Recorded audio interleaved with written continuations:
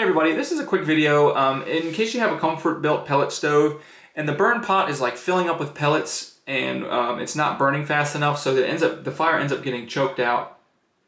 Um, or then all of a sudden, or it doesn't get choked out and it doesn't burn right, and then all of a sudden you end up with a really big fire because you had way too much pellets in the burn in the burn box in the burn pot. Um, so the primary reason that this is going to be happening is that there is an improper fuel to air ratio um, and that's going to be caused by the, uh, the stove not getting enough airflow.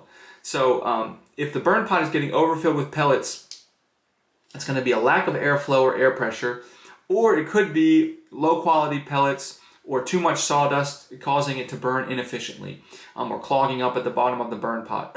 or it could just be that you need to adjust your uh, the auger feed rates. So if the stove was operating correctly before this started and the issue developed over time, then it's likely due to the airflow and you're just going to need to uh, clean out the, uh, the, all the airflow chambers and everything like that. Um, if it's always been doing this, uh, since you installed it, like if you installed it and it started doing this, then the auger feed rates and the exhaust voltages might need to be adjusted for your specific situation. Um, and you also want to make sure that the fire chamber is properly sealed.